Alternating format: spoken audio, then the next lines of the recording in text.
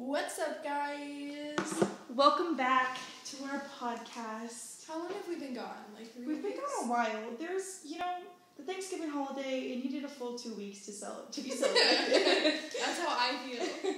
but now we're back. But then, I mean, winter break's right around the corner. So, So like we'll see you guys. This is like one episode, and then like I'd say a year, and then no, I'm kidding. I mean, there's a real chance. No, we can do one next week. We can do it. Yeah, we can do it next week, and then depending on when finals are, I mean, we can do one after that. You're right. You're so right.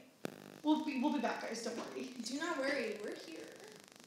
But um, yeah. So, Erin has prepared a few um, a few conversation topics for us today.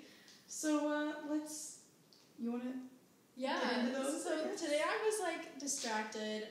I get into this thing where like I have to be keeping myself busy with like work and stuff, or else I just like fall into like this mindset where I'm like I have nothing to do with myself and I get really anxious. So I have to thoroughly distract myself. And today's distraction topic was robots. So I was like on YouTube and I found this. Um, well, at first on Twitter I saw this video of like a robot doing backflips. And then I was like, this is interesting. And then I remembered there was like a vine of some like robot dog that got like kicked to the side and it fell down on some ice. This is so specific and random. but I just remember that and they looked kind of like familiar and similar. So I was like, let me find the source of this. So I found the YouTube channel called Boston Dynamics and it turns out it's like this robot um, development company where they try and mimic like um, like dogs and humans and stuff. Um, and their stuff is like really funny. Like, um, there was this one video from last year, and it said "Happy Holidays," and it was like they attached, they decorated these dog, like the robot dogs with like, like tinsel and antlers, and then they had this lady like I think she was in a wheelchair or something, but they covered it like a sleigh, and then like the dogs are like pulling her thing, and then she's like. Happy holidays from Boston Dynamics, and that thing just killed me. I Oh was my cracking up. Like I need to show it to you. yeah, I did see it. But yeah, no. I I for, like whenever you said earlier or before we started this, you like something about robots. I hadn't. I don't know. I don't don't really think about robots, but for whatever reason today, have you ever seen the movie called um? I think it's called War Games. It has the same guy that's in Ferris Bueller's Day Off. Well, it's like he like accidentally launches like real nuclear missiles, or he's like about to do that on his computer at home because he figured out a way to like hack something and he thinks that he's just playing a game. Okay, this is a very bad synopsis, so I'm sorry, but it like it ends with the robot like plays against itself in the game and it like lose or like malfunctions because robots are supposed to be like perfect, but since it's playing against itself, there's no way for it to be perfect because it can't win. So it was just like I don't know. I think that that's one that's like one of the downfalls of I mean obviously of robots is that like they're I mean they're supposed to be perfect, but I don't think I don't know if anything can ever truly be perfect. Yeah, I don't think anything. Well, it depends on like what you consider to be perfect. But I think that's another discussion. Yeah, but I mean it's it's just like I don't know. It's weird because they are I mean scientifically, mathematically, all the formulas and everything it's like totally complete and it's supposed to be totally perfect, but then there are instances where they malfunction. So like what causes it to mess up?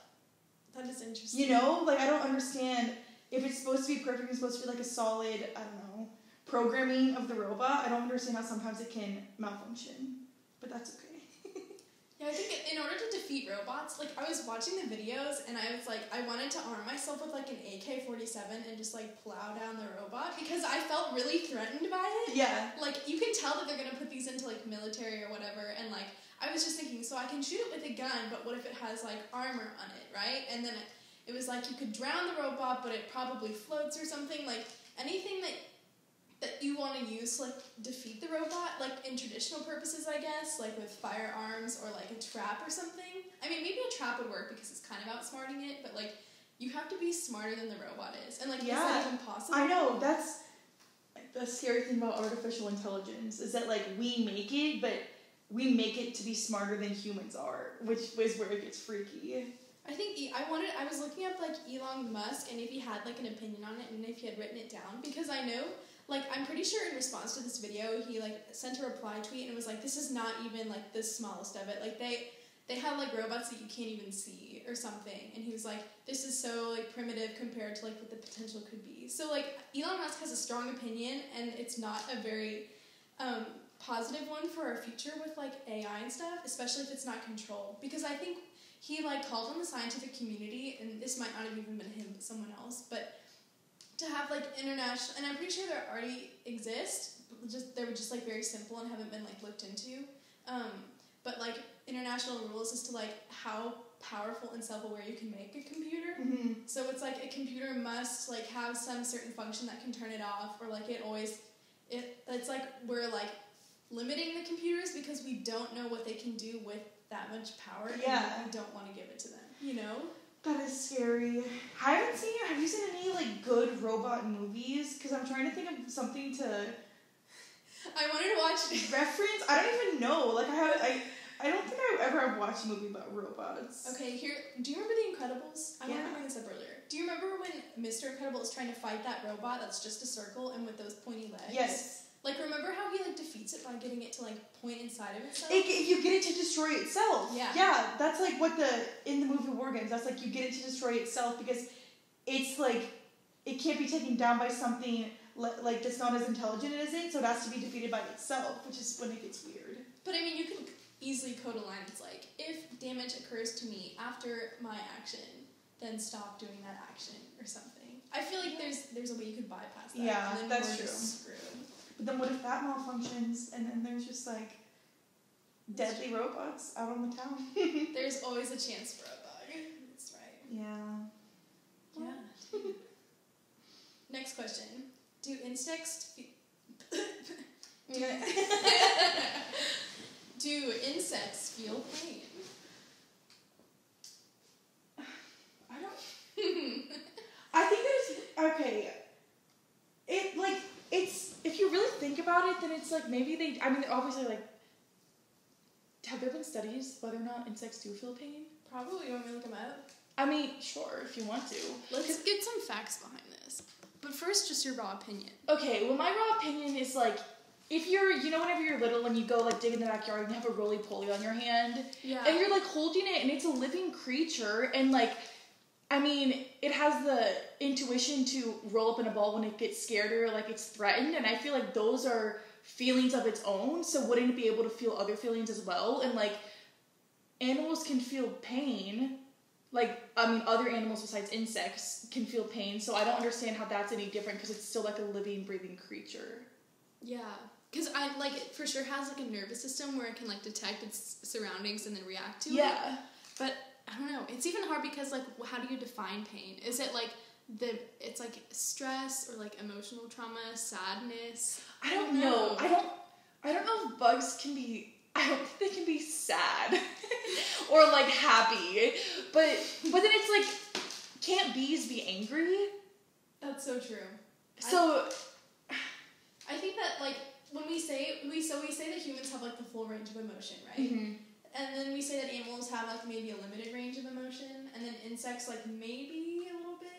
What I think is like humans are like closer to animals, and then even or animals are closer to humans and insects are to humans. It's kind of a complicated way to say what I'm saying, but like the further we are like relationship wise to a living creature, the less we can relate to them. Yeah. The less we can observe and feel that they're feeling something, like the more out of touch we become with, say, like their emotions or their how they feel, I guess, if they do have any feelings. So is it a matter of us not being able to detect the emotion in the insects, or is it just the fact that the emotions don't exist? I think it's just not being able to detect it because. Well, also I don't think that there's like. I don't think think it's a pressing issue in the scientific community to find out, you know, if these if like these bugs are happy. Like I don't think that's something that anyone's worried about. And that's why we discuss it. Yeah. so they leave it up to us. But um, no, I don't know. I mean, I do think like bugs can be angry, and I think that they obviously they can sense pain. So isn't that some that's like that's feeling? But I don't think it's emotion. Hmm, I think there's a difference. I mean, like, do bugs get sad? I guess I'm trying to think. Like, after a bee dies, does it? I mean, we saw the bee movie, so like, I don't really know. It's, I mean, yeah, I'm a little biased because of the bee movie. it's like they all have real personalities, but I don't know. I'm gonna Google do or Bing or whatever. Do bugs get sad? You use Bing. Yeah, it helps uh, my computer battery. I use like Windows Edge, which is like Explorer basically. I see. Um, do bees have okay? But I feel like there's a bias against bees and other insects. Do you feel that way? Yes. But like I, I'm in on that bias because I also like bees better than other insects. So do I. But like, but I really like roly polies too. But it's just like ants. It's hard to think whenever you see like a massive ant pile, and it's like these annoying fire ants, and you're like, okay, like. I don't know. I think that whenever it's inconvenient for us, we try to play it off like, oh, it's not like a real creature, you know. But then whenever it's like you actually like take the time and you sit down and you see an ant, I don't know. If you like just follow an ant on the sidewalk, it's like making decisions about where to walk next and stuff. And like even if it's brain, I don't know how much the capacity of a brain of an ant, but I mean it, it's making some sort of decision and like I mean whenever they get angry, ants like speed up and they they go crazy about their ant pile or whatever. So I don't know. I think that bugs can be mad. I don't think they can be happy, and I, I don't really think they can be sad, but I think that they can be mad, and I think that they can feel or feel pain. But then it's like if they can be mad, then maybe they can also be happy. We just don't know how to detect that. See, I think nothing exists without its opposite. So if you have the opposite, then you must have the other opposite. Or unless the, the bug just feels contented, which you could cons- could assume is like happy, I guess. Yeah. But something I read this quote somewhere. It's so Tumblr, but it was like it was in a philosophy reading. But it was um, it's like cruelty doesn't exist unless it's not profitable or something like that. So like when, back when slavery was a thing, um, like people didn't think that having slaves was like cruel or whatever. But then whenever like the economics changed and like the North became like the factory center and was making more money than the Southerners, because the Southerners used to be more like economically viable or whatever than the Northerners in like colonial America, then that's when people were like, oh, like slavery is really bad. Like if you if it's not if it's not like getting you further, if it's not like a means to a good end, then, Yeah. like the, that means that's when like people realize like, oh, that's that's a bad thing. I yeah, and I also think it's like at that point there were like there became more options, and so it's like I don't know, I don't know how to like obviously slavery was horrible. I'm not. I don't want to say anything that like justifies slavery. I don't want to do that, but I don't like. Whenever there was industrialization, it op- it like brought in and and it allowed them to like broaden their viewpoint and be like there are other ways, kind of. Yeah, that's true. I don't know. Yeah, because when you have another option, like why would you ever choose the option that has the Yeah. most pain or whatever? Yeah. I don't know. I brought up this thing that says, Do insects get depressed? Someone says, They certainly can, and they die sooner when depressed, just like humans, period. Okay, well, isn't that a thing with like queen bees? They like, I think that queen bees have emotions, but not the other bees. not the other ones. But they're because they're, I don't know. Why would you say? I feel like I, it's harder to observe the behavior of a queen bee because she's always in the hive. But is it? Okay, you're right. I don't. I don't know where I'm getting my knowledge. I just like feel like queen bees have a wider range of emotions. That's just my opinion. Is it because it's female? What? It's because the queen bee is female? No, because she's the one in power. She's like wiser than the other bees. Maybe, yeah. So maybe she's more enlightened than the other bees. Maybe that's how she got to her position in the hive. Is maybe, do you think that she might be playing playing God in that situation? Smooth transition. Smooth transition. My next question was, what's wrong with playing God? So um, up until like ten minutes ago, I didn't know what this phrase meant. I probably should have encountered it at some point in my 19 years, but here we are. So Erin, why don't you just for um, I might be the only one, but do you want to give like a recap of what this is or a brief summary? Yeah, so playing God is when like humans take a higher position of power than they like really should or than what's natural or they take over a natural process in order to like maybe fulfill what their own wants and needs are. So like take for example like the Stanford prisoner experiment.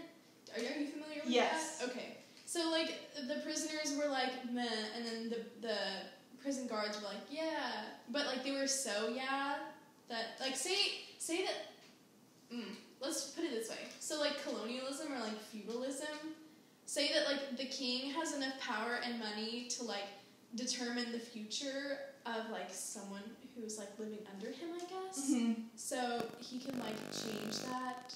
I don't know. I'm forgetting. I mean, like the issue of abortion is like something that's like playing God because And I, I think that it's just kind of whenever humans like give themselves a higher role, that can be also just like playing God. Like I, the way that I mean, even if you think about it in a broader sense, like the way that societies and civilizations are set. I mean, maybe not like old civilizations, but I mean like our current society where there's such an emphasis on medicine. I mean, medicine can be thought of as playing God yeah, and like modern i don't know hospitals and all this technology and then the way that we have like i mean we're so i don't know everyone lives in like a suburban neighborhood you know and it's like we have cars and everything and that's just all like man-made inventions and all those things separate us like we try to always separate ourselves from animals but like humans are animals so i don't i don't know i think that that's like the playing god for humans is just in the sense that we like we try to really i mean create this huge gap between us and all other creatures when we're all just we're all like creatures on earth yeah, and that allows us to like emotionally distance ourselves, which makes it easier for us to play God. Yeah. Know, when it comes to like maybe farming for animals that are like treated inhumanely or something. Yeah. Does it make you sad? yeah that makes me so sad. It makes me sad too.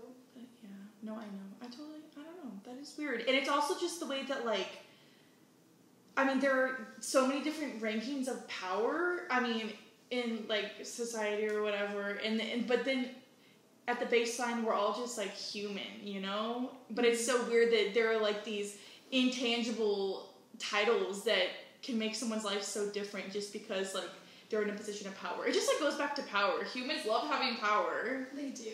I was reading about this. I mean, it was part of my one of my classes, but it was about like how power has changed in a little bit of a way to like having social power. Like if you like rather than inheriting your parents' money, if you you're like something that's much more valuable than that is inheriting someone's social network, like the people they know, because that's like connections that yeah even if you didn't have money, they could get you a job or something. So like having a social network is very important. No, that's so true. And then it's like all these.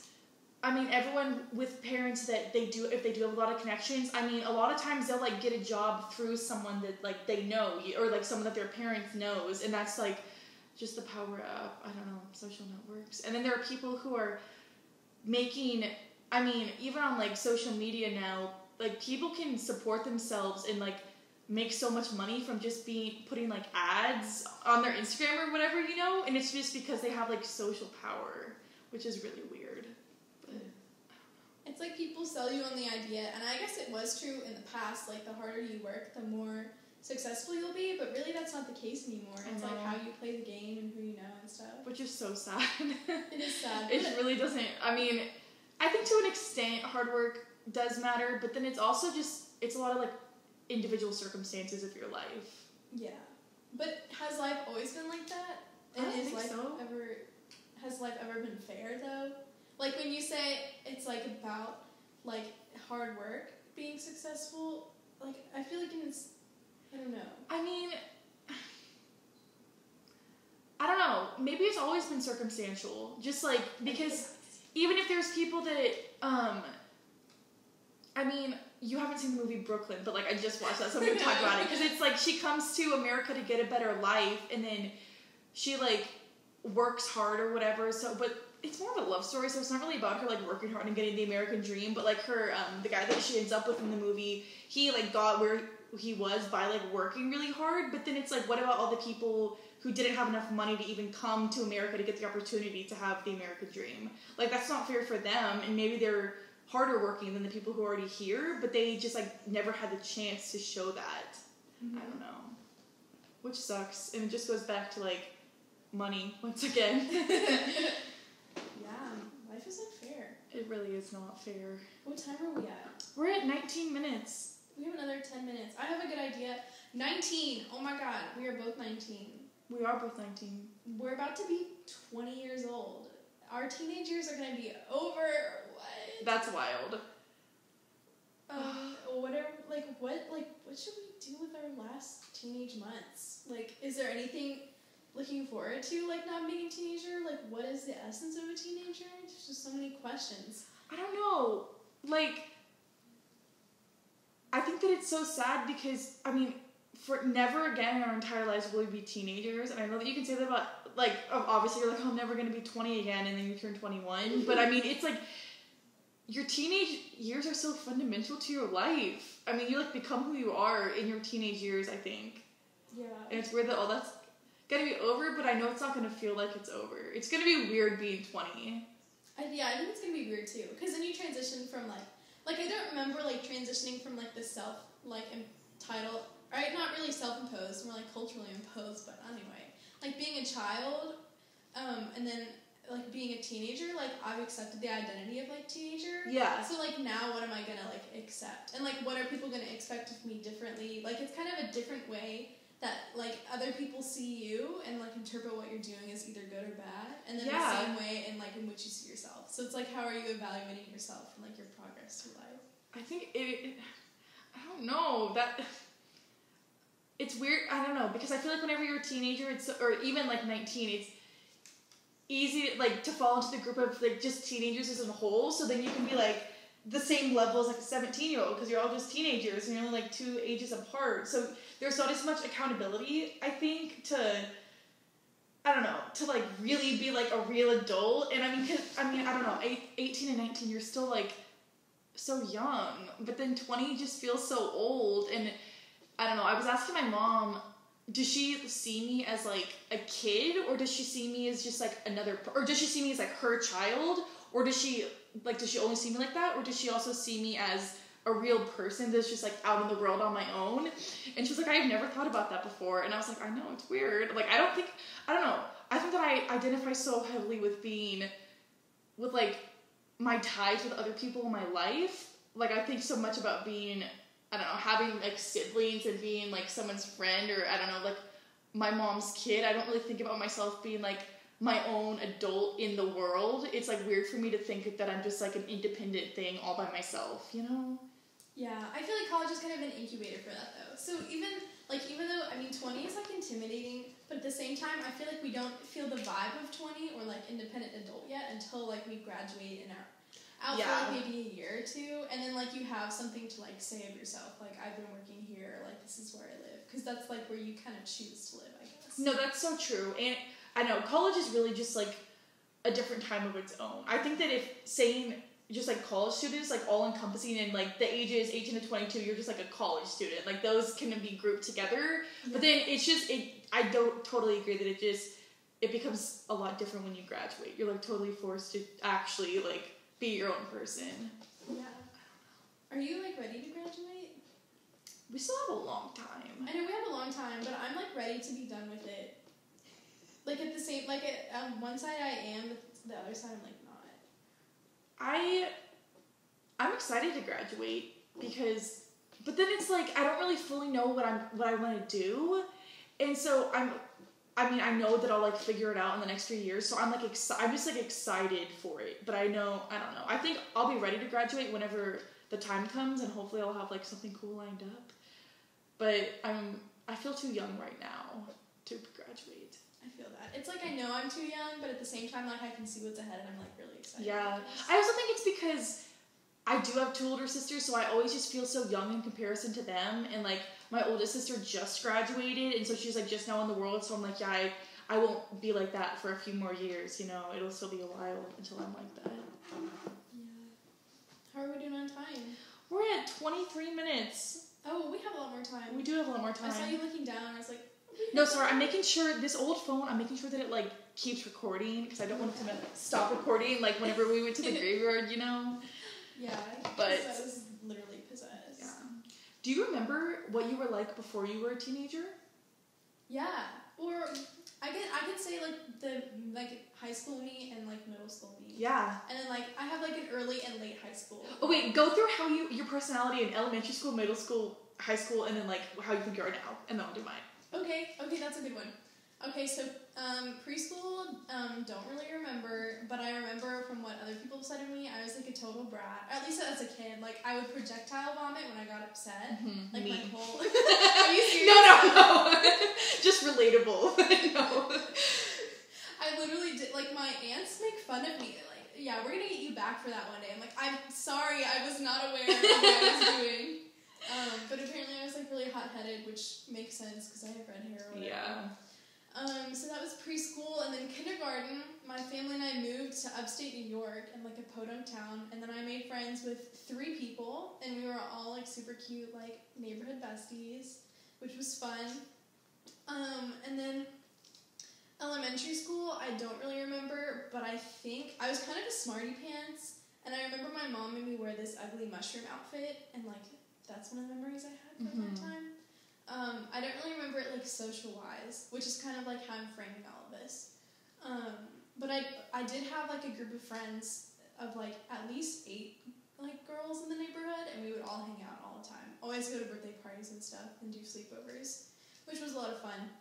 Um, and then I would say I moved schools in third grade to a private school, smaller school, um, and I made friends with one of the girls in my grade. Because apparently there's like a good class and a bad class, and I was in the bad class because I was new and like Mm-hmm. I didn't have the connections to get into the good class or whatever. So I just I don't know. I made friends with this one girl and we were like BFFs, and then we did. Um, this is like just the small tiny tidbits that I remember from this um, part of my life. But we did a project on guinea pigs together, and then we had to do reports on saints. And my friend was like, "Oh my gosh, I want like Saint Patrick because I'm Irish or whatever." And I was like, "Wait, like I'm Irish too. I want Saint Patrick too." And she's like, "No, please don't take him." But like my last name started with S and hers started with T, so I was like right before her. Um, and like the teacher was going in alphabetical order of like people who could choose their saints, and I chose Saint Patrick. And then she was like really upset. I'm, like, I'm sorry, dude. And I did it. It was like totally a turn move, but so I'm sorry if you're listening. You know who you are. Um, and then fourth grade is when it all changed. I was now in the popular class or whatever. My teacher was amazing and she was really sweet. And then that was just a really fun year. That was just a great year of my life, fourth grade. Nice. I had super long hair, um, and we learned the Soulja Boy and um, the song "Isn't She Lucky" or something by Britney Spears. We made a music video to that at recess. Nice. Um, that was a lot of fun. Fifth grade was fun. I made best friends with this other girl in my class, um, and like we were BFFs for that period of time. And then middle school happened, um, and middle school was just like precocious and like fun. We had like movie nights. I was like a popular girl. Like there were like three girls that all the guys like crushed on. And our class was super imbalanced. So there was 36 girls and 11 guys. Oh. So it was like you knew all the the guys and their parents, it was super cute because we were like a little petri dish and you could like watch our drama unfold. um, but it was like I was one of the three girls that like all the guys liked, and I was like yeah or whatever. So that was fun, um, and like the teachers were fun, and I was I could keep um, track of my schoolwork really well. So like I never had homework and just come home and chill out. So middle school was fun. Um, and then high school began, and that was like weird. Yeah, it started out like I knew I wanted to be friends with these people, and I was like, oh, like you're cool, like I,